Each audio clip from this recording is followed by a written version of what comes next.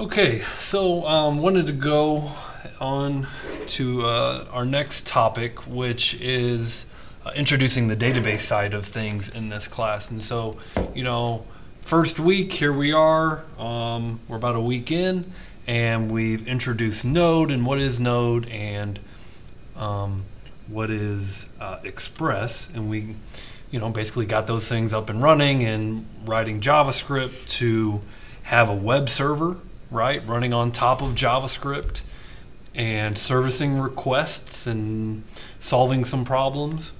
Um, but ultimately, we need to start uh, persisting data in a database. And so, um, this this lecture is an introduction not only to MongoDB, um, but but also just kind of a general, um, a little bit of a general discussion around um, just different technologies that are out there. Um, because we are looking at one technology stack, but there's some other things out there. Um, so, um, but but you know, by and large, uh, working with data, working with databases, we're going to start doing that uh, this week, and so our applications are ultimately uh, going to work with that uh, database. That's why they call it full stack, uh, meaning the front end, what the user sees. The back end is not only the application tier, what sometimes they call the the the back end a combination of the middle tier, which is the application, and then the database. You know that database is really you know always considered back end code. Um, and so, kind of the first thing I put on this slide is, you know, go ahead and follow MongoDB on YouTube. Um, kind of go to their channel here and um, sift through their playlist. I will tell you, uh, for my personal, um, you know, journey learning Mongo, um, I thought they, I think they put together really good videos. And so, you know, um, just go ahead and give them a follow if you if you learn um, off of YouTube like like I do. Um, this is a, a, great resource. I've also uh, joined their newsletter, and so I get the occasional emails um, about um, seminars and different events that are going on. You could see here that you know um, there's a bunch of different events that they do. Um, so kind of start with that. And I think the video that I link to, um, if you kind of click on this, is a crash course on Mongo, um, which we can watch, you know, maybe at another time, you know, instead of this is a long format lecture on Mongo. This is kind of the exactly that 10 minute jumpstart crash course. So if you need a refresher, maybe after this. Um, and so moving on, um, you know, it's worth taking a minute to just discuss what we're doing in this class. Um, in that we are developing in what's referred to as the MERN technology stack. And so when it comes to building software, um, a, a stack is a group of related technologies that work well together. And so I made two slides here just kind of outlining a lot of the popular technology stacks.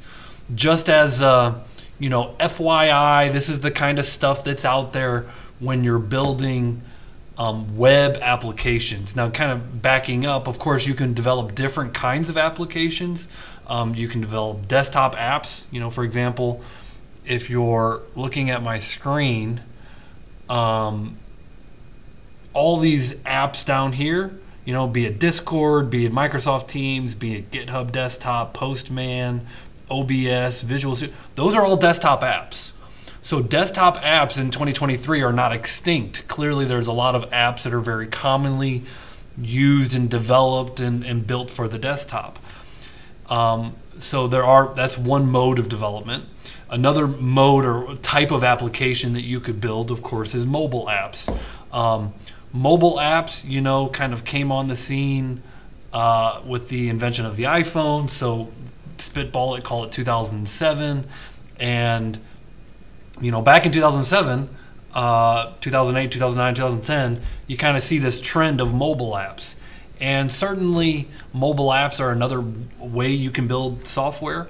Um, turns out, in, in the world of mobile, um, you basically have what are your mega apps, the popular apps that everybody uses, be it TikTok, Instagram, Facebook, Pinterest, you know, you know the eBays, and you know there are mega apps.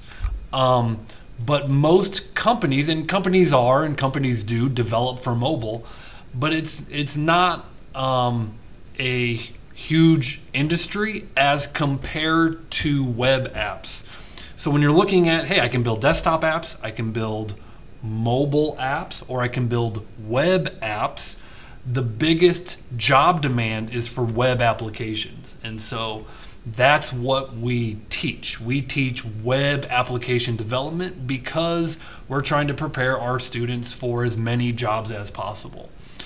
When it comes to web development, you know, these are um, these are the technology stacks that you can develop with. This class is, is referred to as MERN, very similar to MEAN. You'll see that there's basically one difference there. MERN is Mongo, which we're going to learn today, uh, and for the rest of the week. Express, we've doubled with Express. Certainly, there's more to learn about Express.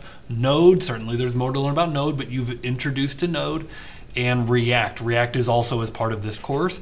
We're building full stack web applications with MERN. Um, and so if you if you throw out the R and replace the A, another huge JavaScript framework is uh, Angular. For a long time, there was no clear winner uh, between the front end, which is React or Angular. Um, React has been trending to be the winner uh, for some time now, and I can you know kind of back that up with some data. Um, but it would appear, at least to me, as and as an observer, that React is um, beating Angular as far as popularity in the in the industry goes.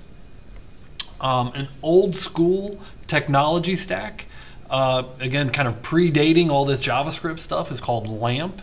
LAMP has been around a long time. Linux, Apache, MySQL, and PHP.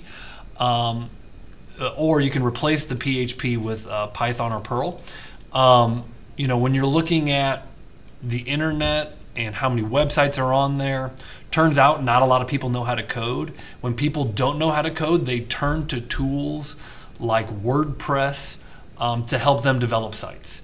And, and WordPress is an example of a content management system built on top of LAMP. And so, um, because WordPress was so popular, um, you know, this became a technology stack that gained a lot of popularity, mainly because of WordPress and similar kind of tools. Uh, they would always run on top of a Linux operating system. Apache is your web server, MySQL is your database, and PHP or Python was your application logic. Um, and so those are um, pretty popular. Not as familiar with with LIMP, to be honest. Uh, Django Python's really gaining popularity, um, and then the database would be what that's that's referred to as Postgres. Um, Postgres is a really popular database system, and so you kind of have uh, Python that's out there, um, kind of continuing. Um, another technology stack that we teach at Rankin is the .NET technology stack. So I highlight that there. Um, a lot of companies prefer working with Microsoft. Microsoft is kind of trusted. You know, their their desktops are on Windows 10 or Windows 11. Their servers are on the server product line, Server 16, thir- Server 19. They just came out, I think, with Server 22. Um, they're they're in the ecosystem as all of uh, you know the students typically once you're in an ecosystem be it ios or be it apple you're kind of married to that ecosystem. And so because corporate america in general trusts microsoft uh, they're kind of married into an ecosystem be it office and all the bundling products and microsoft teams and you got all the servers and all the clients and you know it's all running windows so net has always kind of been popular because of corporate america's love for uh, for microsoft Um, Ruby on Rails uh, was really gaining a lot of popularity some years ago, maybe 10 years ago. Um, kind of never really um, took anything over as far as, you know, um, like being the number one technology stack. Uh, Java. Um, and so Grant, who's my one live listener to this, Grant um, knows I went out to lunch with uh, with an alumni who's now hiring our graduates, and I was asking my alumni who's been out in the industry for seven years now. I said, you know, what what are you working with? And and his answer was Java. And his concern with Java is that Java's getting old. I mean, Java was made in the 90s, and his thing was, hey, I I want to work with more modern development. More modern development is exactly what you saw on this first page. MERN and mean. Um, this these are kind of the the gold standard technology stacks today. And so, you know, this graduate who I was just having lunch with, he said, "Hey, I'm working with Java and if if my employer doesn't give me the opportunity to start developing in other languages, you know, uh, I might have to look for other opportunities because it's it's old is what Java is. Um, and um, on the back end of Java, uh, you have again you have Postgres. On the back end of uh, .NET, you have Microsoft SQL Server. So these are just the database systems, SQL Server and Postgres. Um, and and really React um, you know React and Vue. I you could just trim that because we already talked about the MERN stack. We're going to learn React. Um, Vue is another competitor. If you had to say there's these are three front end languages uh, that are uh, three front end frameworks. It's React versus Angular versus Vue, and these are three frameworks for the front end for developing in a, a JavaScript um, world. Now, if you're on this lecture, by the way, Grant, I don't know if you have this pulled up on your screen. If not, it's on Inside Rankin. You can access it uh, on the home page of our course. Um, but I want to point this out to you um, that in this in this um, slide deck, I have a link. Um, every year, there's a huge survey done on Stack Overflow and you could see here 70,000 developers, and they ask them all sorts of questions. You can kind of see uh, here, and you can read an overview. Um,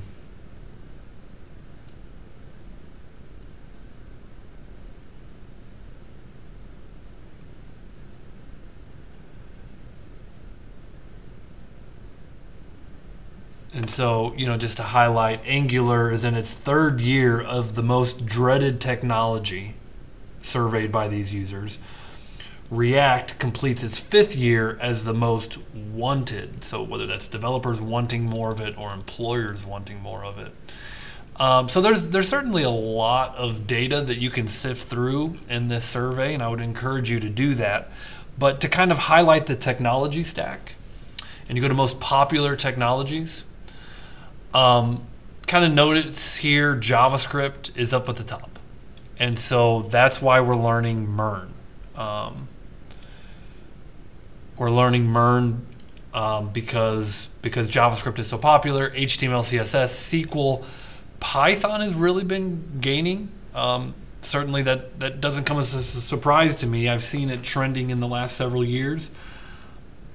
TypeScript is interesting because what TypeScript is is um, you know basically introducing strict types into JavaScript. Like right now we're just like oh let and the interpreter figures out the data type. Um, but in TypeScript there are strict data types similar to C sharp. So you kind of get into here, you get Java, and there's your C sharp. And so these are the popular languages.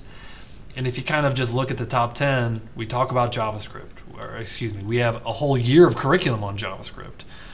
We cover HTML, CSS, we cover SQL, um, C Sharp, and so we're hitting a lot of these languages. Um, moving down, when it comes to databases, these are the most popular database systems. Okay, so um, you saw some of these database systems listed in in my my slide deck, right? MySQL, Postgres, and SQLite. Um, all three of those would be categorized as they would be in this category of what's considered uh, normalized databases. Uh, we're going to talk about that a little bit more in the in the lecture, but uh, normalized database where you have tables and those tables are linked together with relationships. And so when I say normalized, I, sh I should have better said a relational database management system. So an RDBMS. They have um, uh, relationships that link tables together. And so all three of these are relational database management systems. MongoDB is not a relational database management system. And we'll talk about NoSQL and what that is. And so you kind of look here, these are all three very popular. Uh, MongoDB has been around for 20-ish years and made a splash. And we're going to talk about all the advantages of MongoDB. And then you get Microsoft SQL Server. This is Microsoft's product. So, you know, just different companies that, that manage these um, database uh, DBMSs, database management systems. Um, but just kind of taking a look at the popularity of those. And uh, when it comes to cloud, uh, Amazon is kind of king when it comes to where do you host your um, where do you host your servers? Where do you host your applications? AWS has 50% market share according to this survey. Microsoft and then Google. Google Cloud um, uh, um, is is um, picking up steam, I think. Um, and so you can kind of see some different cloud platforms. Um, ah, and then finally, what are the popular web frameworks? Again, Node, React, that's what this class is. So that's great to see that we are teaching the most popular web frameworks. And then when you get down into .NET Core, so this is your Microsoft world. So we're kind of teaching number one, number two, and number six. But if you look in between here, well, we are teaching Express, and then all these other things are just other JavaScript frameworks. So we're hitting our the most popular JavaScript frameworks, and then we're hitting another technology stack, be it the, the Microsoft technology stack. Um, so that's kind of how we look at it, is we're hitting popular frameworks in JavaScript, and then we're, we're hitting the uh, popular framework in, in the Microsoft .NET world. Grant, how much of this um, have you seen before, or were you familiar with, or is this all kind of new for you? Um, it's pretty new. I think you showed this website right at the beginning of the class, and I, I browsed through it a little bit, but I don't think I got down to uh, like these these pages yet. Yeah, nice. Yeah, this is just a really good source of information. Now, they take the survey in May, so there is a new one that's going to be released before too long. So this one's 2022. So just kind of hit that real quick. Um, so again, we're working in the we're we're working in the MERN stack. I you know even highlight that um, to say, hey, this is this is what we're working in. Um, and then and then this lecture is specifically on the M. And this week we're just going to be focusing on Mongo and basically working with data inside of a Mongo database system. Um, and then what we learn to do is tie in what we've already done, which is to make a, a web application that kind of just sits there and waits for requests and then it's going to tie into a Mongo database. So then it can service those database requests. So that's kind of like step one. Step two is where we are today. We did step one, we're on step two. And then where we're going moving forward is, is step three, which is tying those two things together.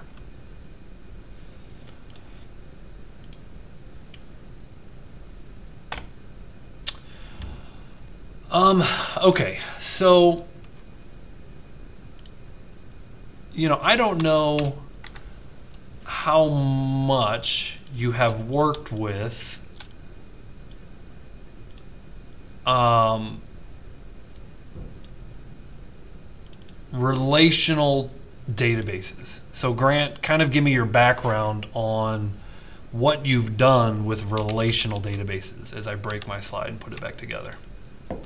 Um, I remember in, I think, the C Sharp class, which for me that was in, this is probably in November.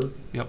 Um, we did a small amount of database work Cool. with, um, I, I think it was, I don't remember if it was MySQL or Microsoft. Um, Yep. Probably So- Microsoft SQL Server. yeah, yeah, I think, yeah. So just a little bit of that, just kind of at the tail end of the semester, linking some stuff up. Okay. So, did you have these terms like primary key and foreign key? Yes, yes. And so, do you remember like a primary key is a way you uniquely identify a row? Right, right. So, like, you're not going to have two rows in the same table that are duplicates because a primary key is going to kind of enforce that rule. Yes, and then you use kind of a foreign key, it kind of links it up Yeah. different table. Yeah. Yeah. And so, um, here, like, there's an orders table, right? So, you, uh, and, and for an order, you need a customer. And so, you notice they have a customer ID. Presumably, there's a customers table with a customer ID. And so, in the customers table, there's a customer ID, and that ID is one that represents Grant. And um, here is a is an order ID. Well, here's an order items table that says order item one. So this is a foreign key. This is a primary key over here. Uh, has a product ID and a quantity. And so, um, you know, I'm sure that just was just like a matrix of just jumping through things. But that's kind of what it is to work with tables in a relational database system. Is you just have a bunch of different tables um, that are linked together through these primary and foreign key columns. And then you wind up with tables like this that are just a bunch of numbers that kind of link things together. Does that kind of make sense? Yes, yeah, this is ringing a bell. Okay, cool. And so um, we're going to talk about some of the problems with relational database systems and kind of where they came from and why a system like Mongo uh, was created. Okay, but but you know, it's just worth noting that in relational databases, which again, looking at popularity, you know, relational databases are still some of the most popular database systems. So there's still a lot of software that runs on top of relational databases. And so it's not to say that this NoSQL uh, or Mongo has replaced them. It's not. We still need to learn relational databases. Uh, but they, they kind of have some problems that we'll kind of get into. Um, whereas in Mongo, data is stored in a much more similar format. If you look at this uh, line of code here, this is what's called JSON, JavaScript Object Notation. And so what we ultimately have here is an object. You can see those curly braces on the outer on the outer rim there. Um, those outer curlies means that inside we have an object. And so this is nothing but a JavaScript object.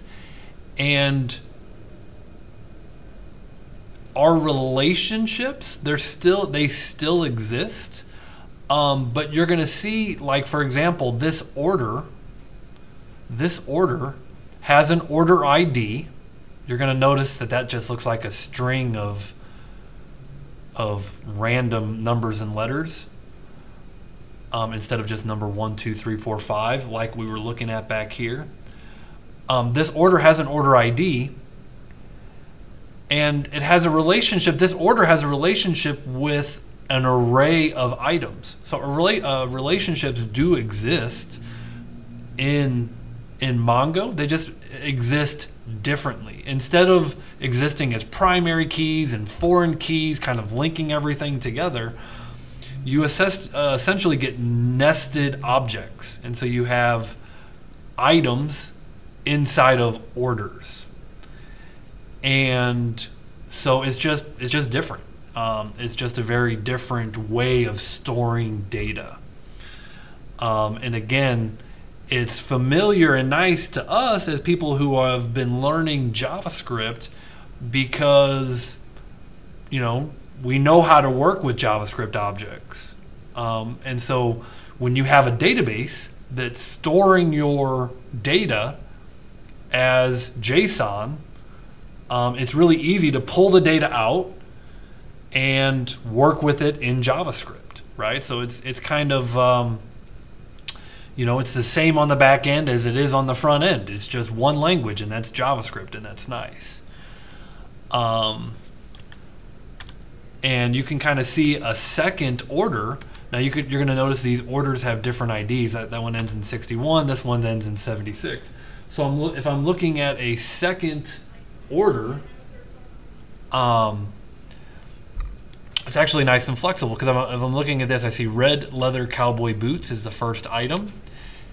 Uh, boot socks and belt. Okay, boot socks. So let's let's look at boot socks. Boot socks, which is the second item here, had a price of 15 and a quantity of four. And down here, boot socks has a product price of 18 and a quantity of one. Maybe they ran a sale and they actually paid a different price. Um, that's actually something that's a little bit harder to do in a relational database uh, system. Your one product has one price, and it, it, it's not as flexible here. In this case, you could see that boot socks, someone paid 15 bucks for it. On a separate order, someone else paid 18 bucks for it, and that's more real world, right? I mean, prices are going to go up and down based on supply and demand and all these factors. You run a sale, so on and so forth. Um, and so that's just kind of the first thing to realize. There's relational databases, first off, and then these are often called NoSQL databases. We're going to get into NoSQL and what that means.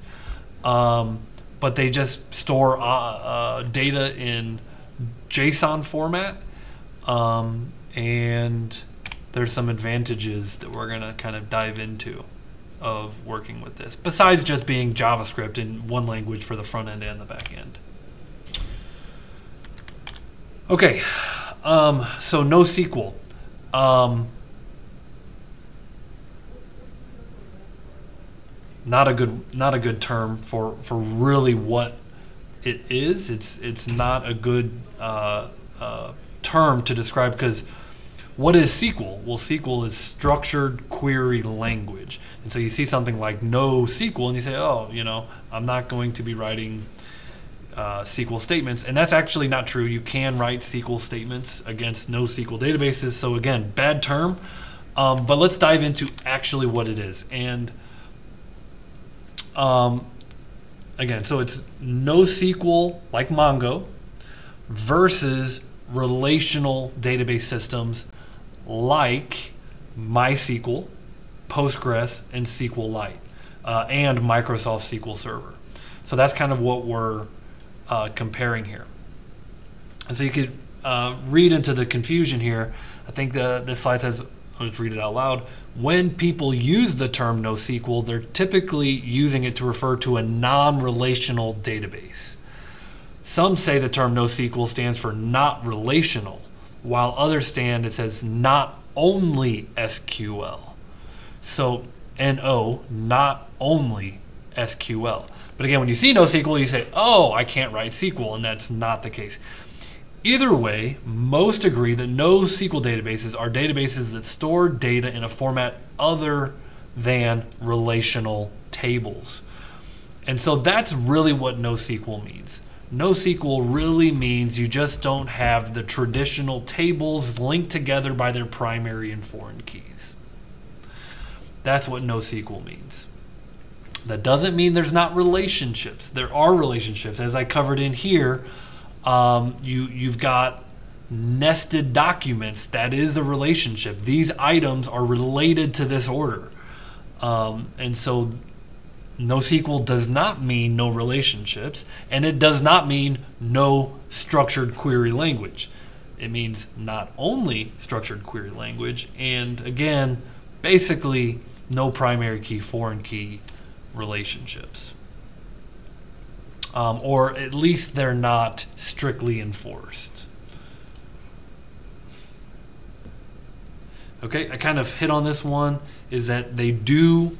Another misconception is that there, you know, there are no relationships. There are relationships. They're just different. Um, and and that is typically done with nesting, as I demonstrated. Your items, uh, your items in this case, are an array of of objects inside of uh, nested inside of another object. Um, and so in here, um, pull up this link. It's a really good read on what is NoSQL.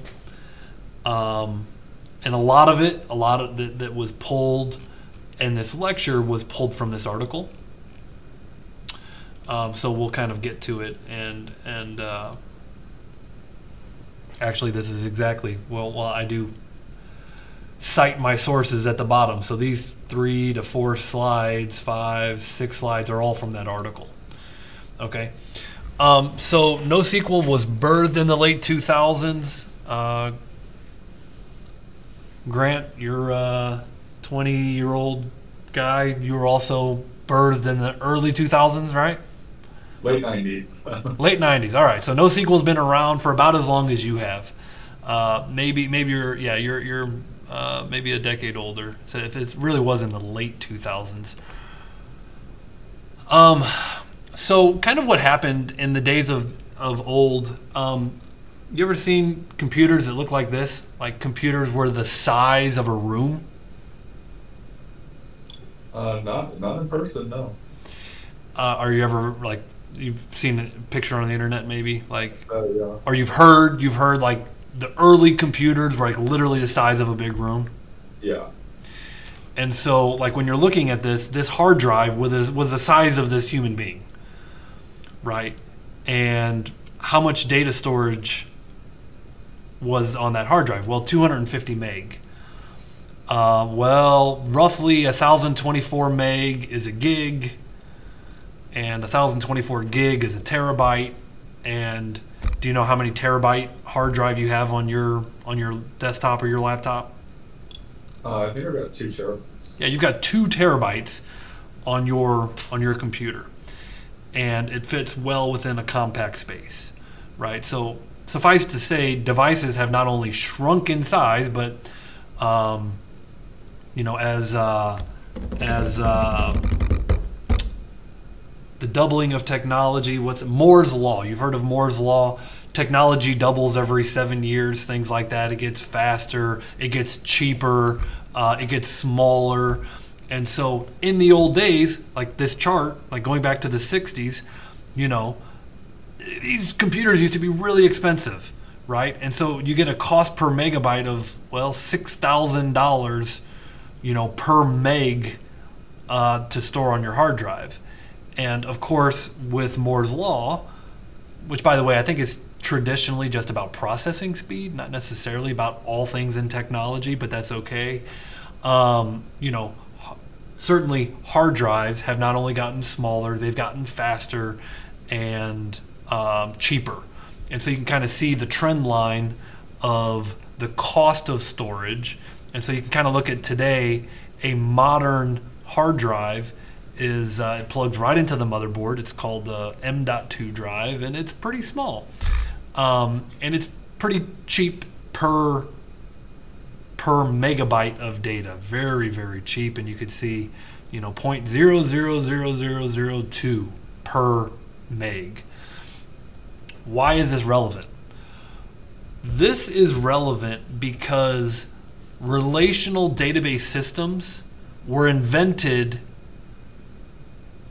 back in the 60s. And back in the 60s and back in the 50s and the 70s, I don't know the exact year, back then it was very expensive to store data on a hard drive.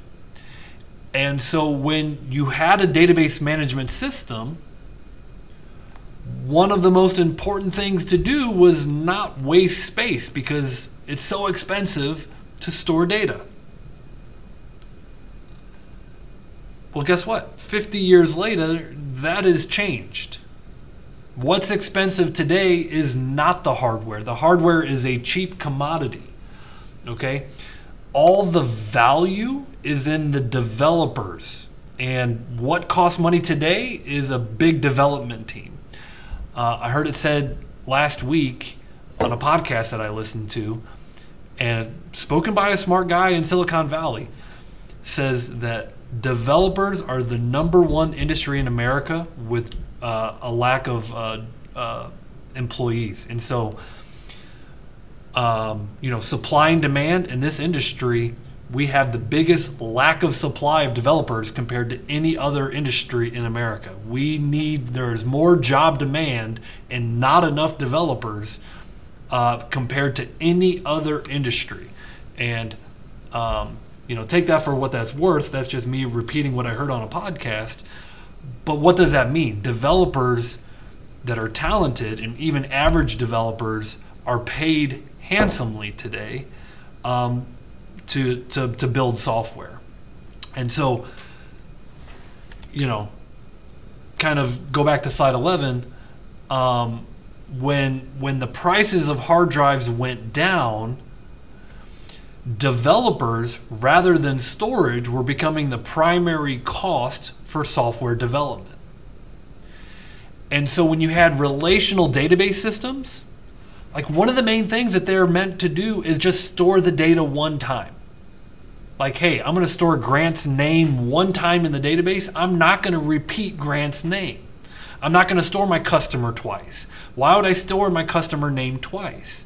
Because that would be wasting space. And so everything was built in relational database management systems to optimize for storage, not optimize for things that are important today. What's not important today is storage space. You want to store someone's name five times? It doesn't matter because it's so cheap to do so. Um, and so, what is important today? What's important today is that applications are fast, right? Do you like waiting on your application to load? Of course not. No. Yeah, of course not. Of course not. Um, so, you know, there's always that scale of priorities, and it's kind of like a three way scale. It's like, you know, how cheap is something, and what is the quality. And, you know, this is kind of one of those things where, you know, you can't. Um, the priorities has shifted over time. We used to prioritize hard drive space. Now we prioritize application speed. We, we prioritize security. Um, we, we prioritize um, developers because there's a shortage of them and, um, you know, they're expensive. Um, and so, what is NoSQL? Well, NoSQL says unstructured data. Um, it is much more flexible in the way that you can put data in. Um, so, you know, for example, in a relational database like Microsoft SQL Server, you might have a column of data, and you're going to say, okay, I only accept integers in this column. Uh, whereas no SQL, you know, maybe at some point in time you're putting integers into that column and then you change it and you make strings. There's advantages and disadvantages to being flexible like that, um, but that's that's one way of looking at it is like, hey, you know, I'm this database. Um, as your application needs change, you don't also have to change your database. And so, like, hey, at some point, you know, I was storing strings in this column. Now I'm storing integers. Now I'm storing doubles. And it just kind of works in Mongo in NoSQL. It's flexible. And so, like, when I think of Mongo database, I just think of a really flexible database that as the application evolves and as the application, you know, uh, iterates and changes, um, this database is very flexible, so it can accept data in all sorts of in all sorts of ways. Uh, you kind of highlight this here. This data came in all shapes and sizes, structured, semi-structured, polymorphic. There's a fun word from your C sharp. Uh, uh, and defining the schema in advance became nearly impossible. And so, um, you know, the idea of software development is that no one writes perfect code the first time through. And so, um, software development has gone through different methodologies, and maybe you've heard of what was considered waterfall. The waterfall methodology was really the main methodology used in the world of software development, um, which was similar to building a house. You know, the way you build a house, generally speaking, is you plan, plan, plan, blueprints, and meetings up front and get all the details ironed out and um, you know uh, then you order the materials and then you build the house that's on the blueprint.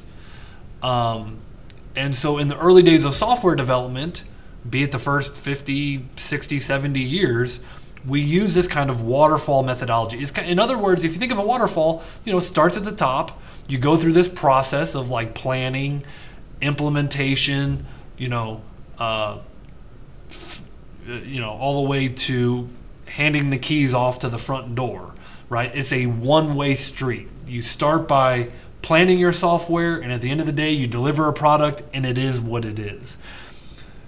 Uh, you know, I think of uh, old video games that way. Old video games, I, I kind of grew up with Nintendo 64. I played GoldenEye, right? And when you when you got that GoldenEye game, right? That was a finished product. There was no patching GoldenEye, right? Developers had to write code so that that game worked how it worked, and at the end of the day, you know, you shift that product out the door, and there was no patching. Um, and that was the old days of software, um, this waterfall methodology. Nowadays, you know, um, software development follows a different methodology called agile. And if you kind of look at the agile uh, manifesto, most software development today takes place using a, an agile um, methodology instead of a waterfall. And what you do basically that's very different than waterfall is you just iterate. You make iterations. You know, you build a product for two weeks, you show it to the customer, they tell you how to fix it. You build that for two more weeks, you show it to the customer, they show you how to fix it. And so, um, Mongo, how this ties into Mongo, is that you never know the software that you're going to build on day one because it's always changing, it's always evolving, it's always, uh, you know, it's always changing because your software is always changing. You never know what's going to be. So what you build on day one is going to be completely different than what you ship. You know, is going to be different than what you patch in in three years. Um, and and so Mongo is more conducive to an agile software development methodology. And so, kind of an interesting link to, to read up on um, uh, the Agile uh, Software Development Manifesto. So, basically, a group of developers they got together and they said, hey, we value this over that. And so, we value A over B. And so, to just kind of read off of this, um, we are uncovering better ways of developing software by doing it and helping others do it. Through this work, we have come to value, again, A over B, individuals and interactions over processes and tools, working software over comprehensive documentation. It was also the case in the old days of software, you would just document the daylights out of your software. I mean, I remember um, um, manuals that were thick. I, I, remember buying like a video game, and again getting like a folder that was um, uh, almost like a telephone book, like thick, thick manual to how to play this video game. So comprehensive documentation. Uh, again, they, they value working software over documentation customer collaboration over contract negotiation. The idea of like, hey, we just want to make our customer happy, you know, versus in the old days it was like, hey, we're going to build you this software, we're going to build it for you at this price. If you change your mind, doesn't matter. You're going to pay us, and this is what we're building. Um, so, so more of an iterative, like just make the customer happy. If we need to modify the contract to charge them more or charge them less, then, then that's what we need to do. Responding to change over following a plan. Um, and so, so yeah, the the idea is that Mongo is much more conducive to an agile methodology versus kind of the old school waterfall. Um, making sense? Yeah, thanks. Um, you know, by the way, you know, at the end of this, what we do is we actually do a, a dive into into actually Mongo. We install Mongo and we get working in it. Okay, this is just the just the introduction.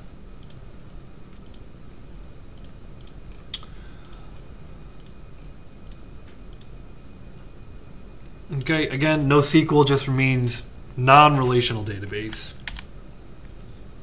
Again, I don't want to harp on any of these slides too hard um, because there's still a lot of relational databases out there. Again, they're still very popular.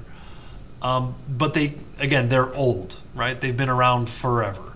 And because they're old and they were designed for different purposes, they come with some problems. Um, again, to kind of highlight, relational databases um, were designed for a world in the 50s and 60s where hardware was expensive, um, both your hard drive and your RAM.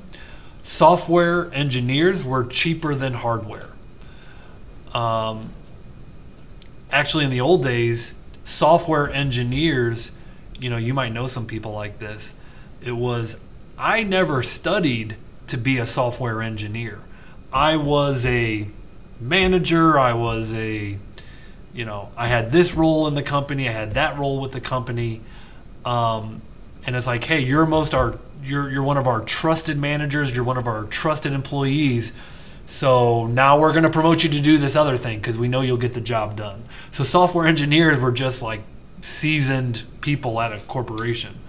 Uh, they might not have any background at all. They, you know, they might be like, you know, they might be in biology or something, and they're a chemical engineer or something, right? And uh, but they're like, eh, we trust you, so you're going to be a software engineer.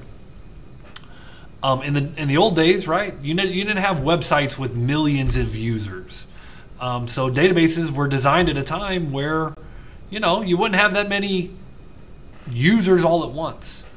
Uh, the internet did not exist yet, right? The internet didn't become mainstream until the 90s. Um, you know, and again, business requirements were well known and mostly static. That's just not the case today.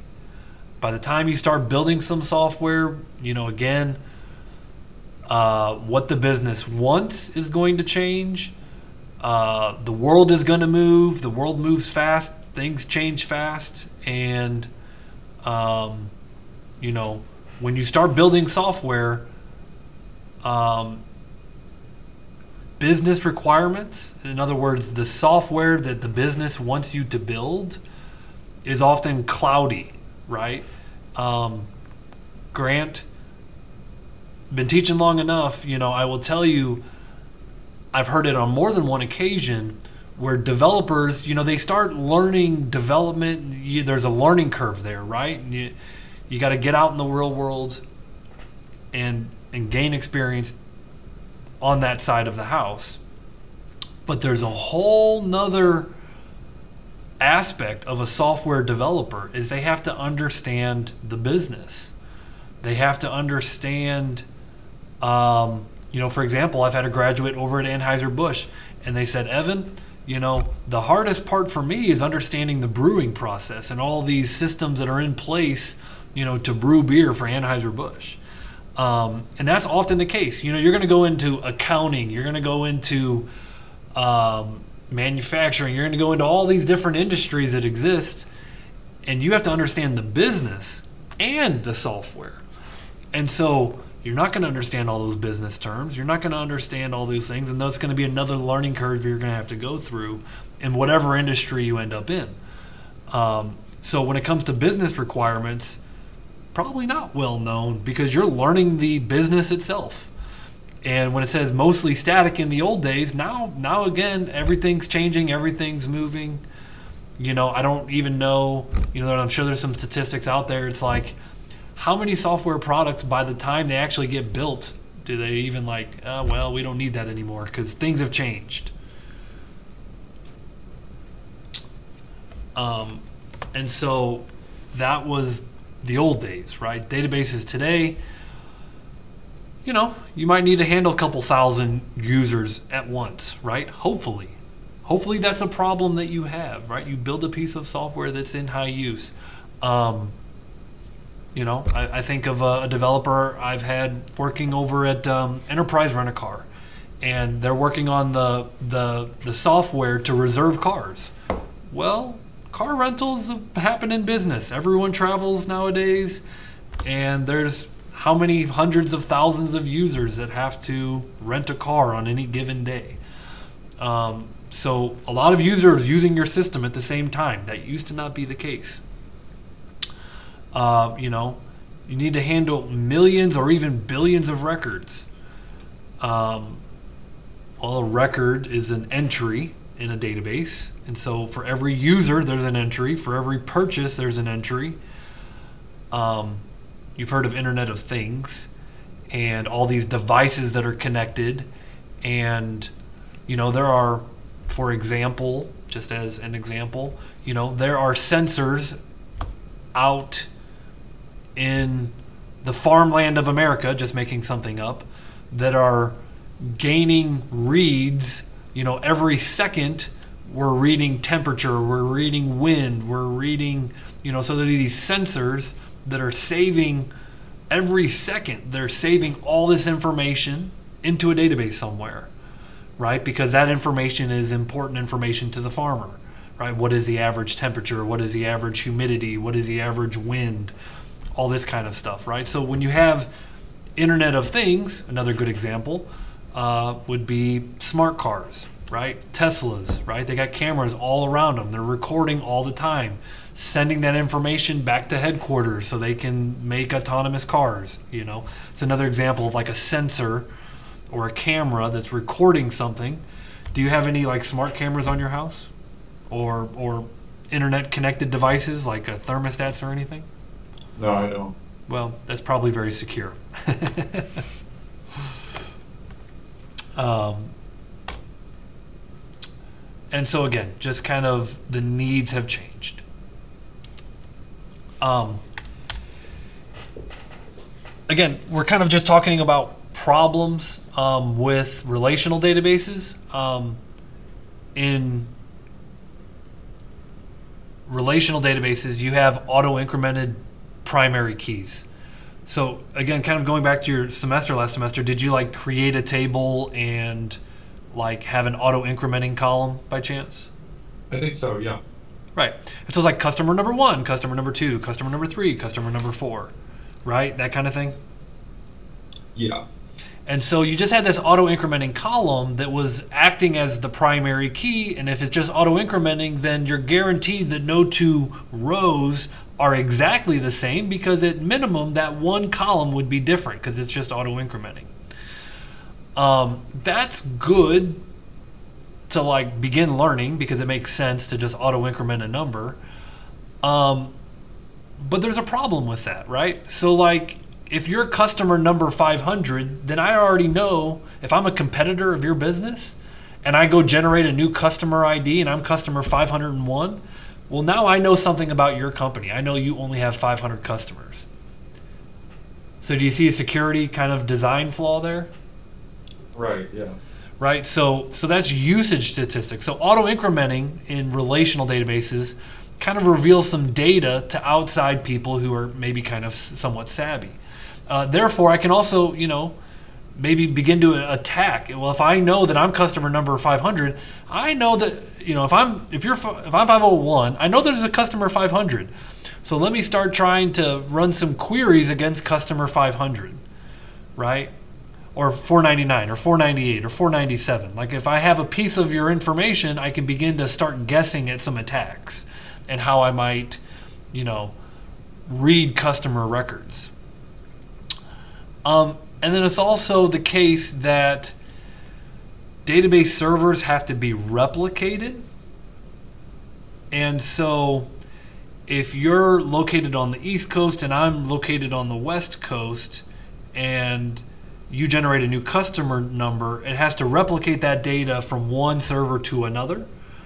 Um, otherwise, we would both be, you know, the next customer number. Um, so that synchronization slows things down. Right, so there's some security issues here with auto increment, and there's some speed issues here with with auto increment. And so Mongo Mongo doesn't have auto incrementing columns for those reasons. Um, and so that's that's a good thing. It's also the case um, that Mongo does not have strict what are called foreign key constraints.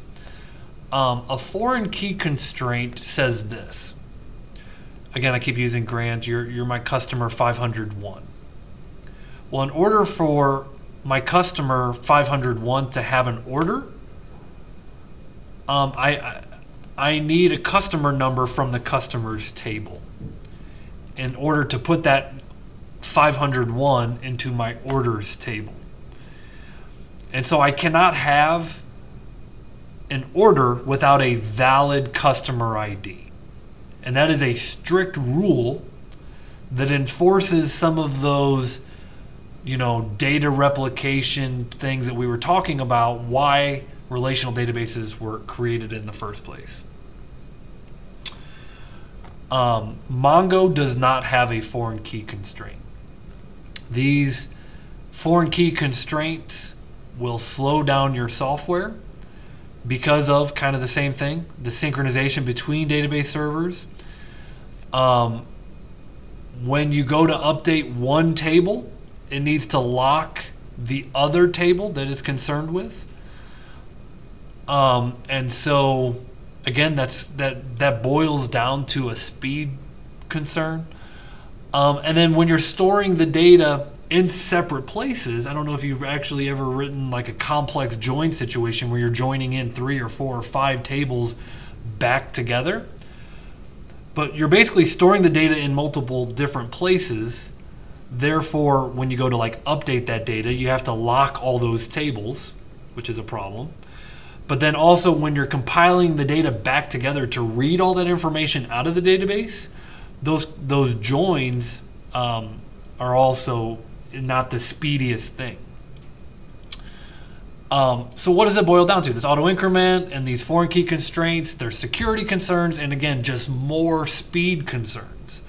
Today, we have speed concerns. We're not concerned about duplicate data. We're not concerned about hard drive space and the cost of, you know, replicating our data across multiple hard drives. Now it's like, hey, I want my software to be fast. That's my main concern. And I want my software developers to develop it in a reasonable amount of time. Like those are high concerns. Um, and then moving on, tables do not allow for nested documents in arrays. Um,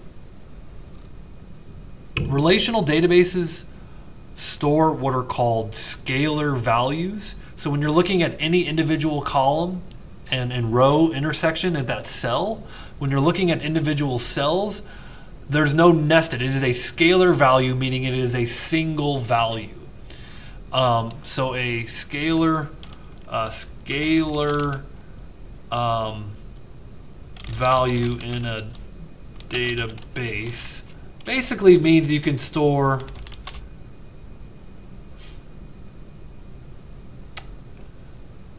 um, a single value. There it is. A scalar value refers to a single value. And so in a cell, you know, you cannot have like an array of data in a cell.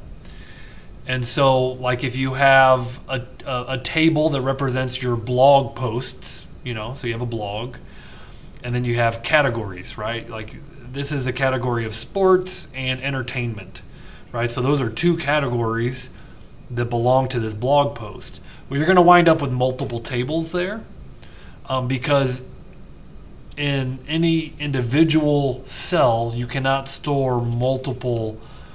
Um, pieces of data. It is a single data. Um,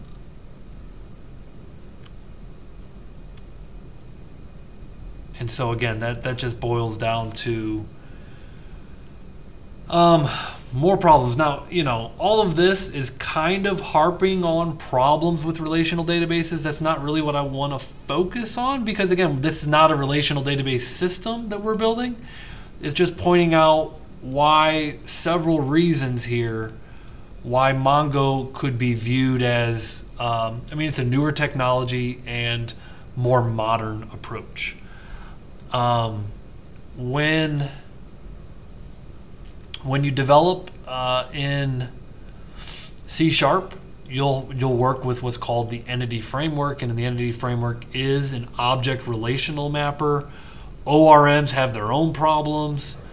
Um, you know, the ideas that you um,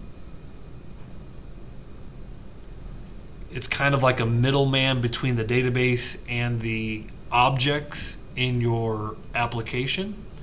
And so it maps the database tables to the objects in your app. Um,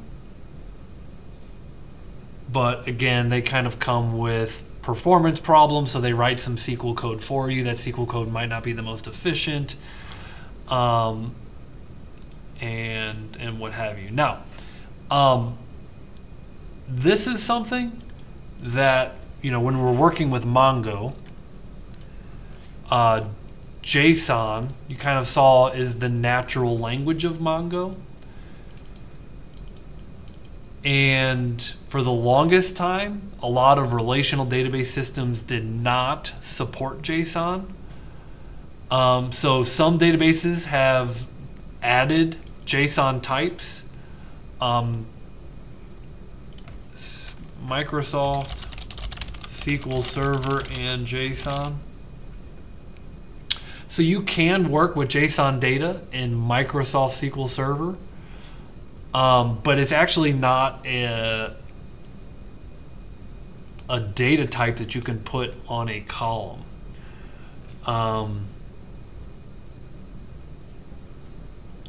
and so there is no like built-in type uh, for JSON.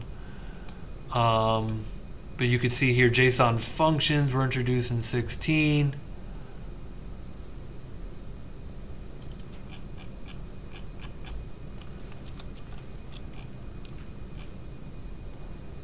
And so there's some basically built-in methods that will allow you to convert JSON data into relational database tables.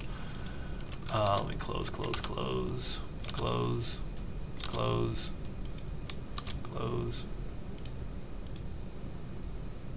Back to here.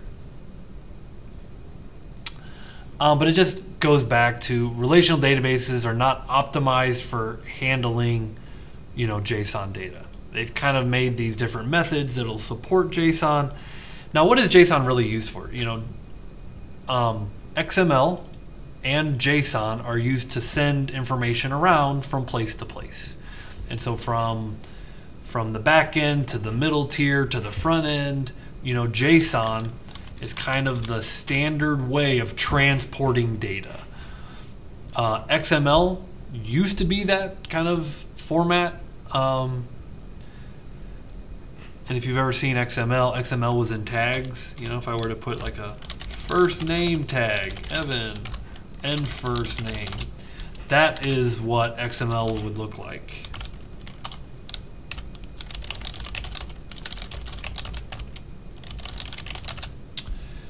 And, um, but again, both XML and JSON were transporters of data. and a problem with relational databases is they didn't kind of they weren't designed to work with it uh, like Mongo is. So kind of in the end here, which is this is my opinion, uh, relational databases are not optimized for today's applications. Um, so because of these reasons we've talked about, relational databases don't handle more than a few thousand concurrent users. Um, you know, uh, you start having multiple users trying to access the same data, things get locked, tables get locked. Um, you know, one user's trying to update a record, then the other user can't access that data. And so the other user is getting error messages. Um, relational databases are not optimized for distributed databases. Okay, Grant, I don't know if you're a gamer. I think you said you are a gamer, but what what gamers know in a lot of cases is that you want like a local server, right? Because if you got a server on the other side of the United States, your ping is going to be higher, right? So for the fastest throughput, for the best in-game experience, you want local servers. Because you want local servers, servers that are close by you, you know you got to replicate data, um, and uh, relational databases aren't good at um, kind of being distributed because every update you need to do, you got to do on multiple tables, and then you have to replicate that across all the systems. Um, which you don't have those problems nearly as much on Mongo. And relational databases are not optimized for unstructured and nested data, um, like JSON. JSON is unstructured, and you can have an array of items inside of an order, right? You have nested data, and that's all a JavaScript object. And you can see here many relational databases don't even support nested data.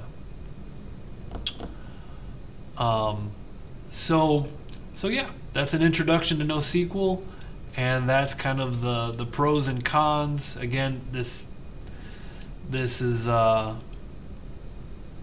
an opinion slide on slide 23. Moving on to slide 24, I'll tell you what, Grant, we'll just take a quick five minutes and then we'll continue on. Sounds good. Yep. Okay, kind of come in here and finish this up. Um, MySQL, going back to that popularity, was the most popular relational database management system versus Mongo, uh, which is our most popular NoSQL uh, database. Kind of compare and contrast them. They use different term, terms, right? So it's just kind of nice to see like a table in MySQL. You know what a table is. You know, if you've ever worked in Excel, you've got rows and columns. Uh, so a table is broken down into rows and columns. And so in Mongo, uh, you've got collections. A collection is a table. And then one row is called the document. Um, and then a column uh, is a is a field and uh, where, where the actual cell is inside, you know, the intersection of the row and the column. Well, you know, at the intersection of the document, you've got a field, and then you know you basically have your property, um, which is where your data is. Um, so, kind of to hop on back, um, this whole JavaScript object um, is called your document. Um, and then you've got again kind of going back to the right? And then a uh, column well really it comes down to the property. Well we know what a property is. In purple are your properties and then the values are in the blue and the red. Um, and so the terminology is a little confusing uh, when you're changing because whole life I've been used to tables, rows, columns, and fields. Um, and I maybe I butchered this because I, I, just made changes to this recently and I feel like I might have messed that up. So I, I'll, I'll double check my work here because I, I, I, changed that recently. Now I'm second guessing myself. Um, so what is a schema though? You notice I did skip over a schema. Um, the schema is essentially your blueprint of all of the uh, collections that you're going to to uh, have in a in a relational database. A schema defines all of your tables, and in a uh, NoSQL, a schema defines all of your collections and your data types and um, you know the relationships between those tables. Um, so in in MySQL, the schema is like pretty strict. It's hard to change. You could see is is difficult and slow to change. Um, all rows. Um, uh, and so basically your columns have data types is what this is saying. So all your columns have data types. So all the rows that you know line up in the columns, they all have the same data types. And you know your software is written around that schema. So you're you're kind of hard coding uh, your your application to work with a strict database set of plans. Um, whereas on MongoDB, the schema is much more flexible. And so you never have to define a schema. You know, you can kind of add collections, which are tables, and you can add fields, kind of add them as needed. It's just all more flexible. Documents in a collection uh, can have different fields or different data types. And so that kind of goes back to that polymorphic example. Um, and your application can easily handle changes to the schema uh, when it doesn't uh, conform. And so just more flexible. Um, you know, this is basically your database plan in a, in a traditional sense is much more rigid, Mongo much more flexible. Uh, in MySQL, um, your fields, you know, so your columns either allow nulls or they don't. And so you can you can have in MySQL you can have uh, required columns. You mark them as not null. Otherwise, nulls are allowed. Um, and in Mongo, you know, it's it's all completely optional, right? All fields are optional in the database. Um, if you need a required field, then you have to use um, application validation, kind of what we did in our last hands-on test, is we were writing JavaScript to validate the data. And so we're going to learn how to write um, server-side validation, which is a, um, a package called Joi. Um, so we'll in uh, in our Node and Express world, we'll bring in a package called Joi to do some some validation on our data. Um, in MySQL, you have primary keys. Those auto, primary keys can auto increment, uh, or you can have a uh, like what's called a GUID or uh, universal unique identifier. Um, so you gotta kind of have some options over here. On Mongo, um, every document will have a an underscore ID that will uniquely identify it. And so you basically have a primary key uh, that had that must have the name underscore ID, and it winds up being uh, a unique string or preferably an object ID. And an object ID is one of those um, globally unique identifier, something like this. This is an object ID. It's just a um, completely random numbers and letters, and it's like a not impossible to duplicate, but it's very rare that you have two. Uh, and by very rare, I mean practically impossible to have two of the same matching object IDs. Um, so it's a way of uniquely identifying each row or each document inside of a collection.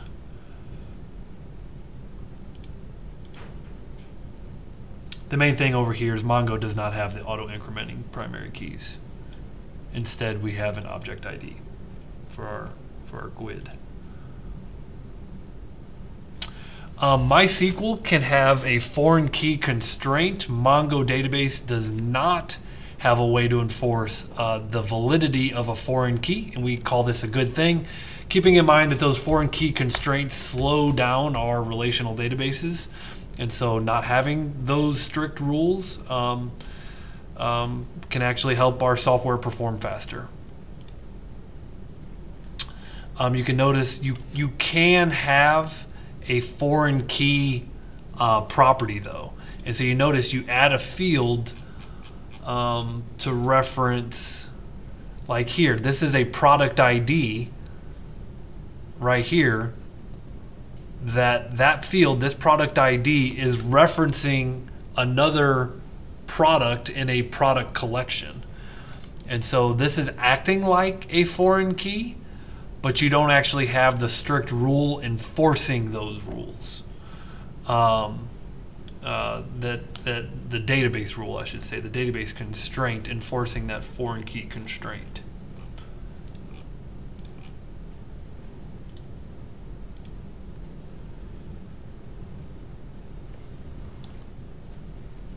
Um, unique constraints. This is kind of like your primary key. Primary key is the idea is that it enforces uh, uniqueness in a table. Um, and so unique constraints in MySQL are defined as part of the table schema. So when you're defining the table, you define the unique constraint. Typically you say primary key unique. Um, it can be one or more columns. So if you want to have like a compounded primary key, you can do that. Two columns that come together to make up your primary key. Um, all rows in the table must satisfy this constraint at all times. And so this is, again, a strict rule that MySQL has, or relational databases. Um, on Mongo, um, you don't have a unique constraint. You have what's called a unique index. So if you want to enforce uniqueness, uh, in Mongo, you add what's called a unique index. Um, and so you, you can enforce, you know, for example, um, if you go back here to your orders, you know, we're going to have a unique index that says all of our orders have to be unique. So basically, forcing uh, all of our orders to have a unique ID, for example. So it, it is a rule that you could still enforce. And um, lastly but not least, uh, indexes. You know, you have a book index, you want to look up a term, you go to the index, you look up alphabetically, you look up the word, it tells you what page in the book. Uh, databases have indexes as well. Um, and just like in MySQL, you add the indexes to the tables. In Mongo, indexes are added to a collection. And both of them do the same thing. They kind of help you uh, find uh, or perform lookups faster. Uh, you can see here they're vital to application performance. So in both cases, indexes still exist. And so that's a good thing. Okay, last but not least, I'm going to kind of stop the, the first recording here. Now, um, we're going to go through some software installation together next. I'm just going to put it on a different um, different video so we can kind of walk through actually installing these different tools and connecting to Mongo.